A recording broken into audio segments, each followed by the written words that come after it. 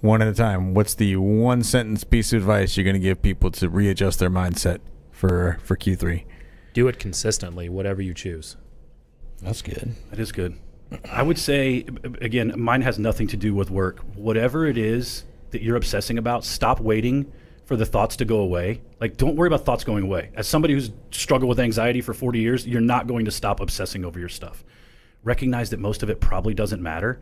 And in that moment, find out where that, that weird feeling is coming from. And everybody, it manifests differently. For me, it's right in the middle between my stomach and my chest. That's where all that, that physical anxiety radiates from. Yep. Sink into it, go into it, and be aware that it's there and acknowledge it and let it pass right by. And do that consistently.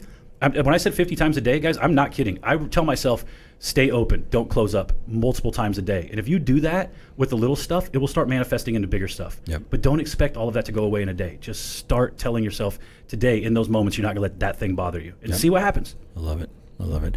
Uh, I tell the team all the time if you want to be a badass, just do badass stuff. Yes. Right? Everything that you need to accomplish your goals is within your reach. Even if you don't have the resources right now, you have the resourcefulness to go create or find those resources. But if you can't come home at the end of every day and look yourself in the mirror and say that you did everything that you could today to get to the to, to further your goals, it is nobody's fault but your own.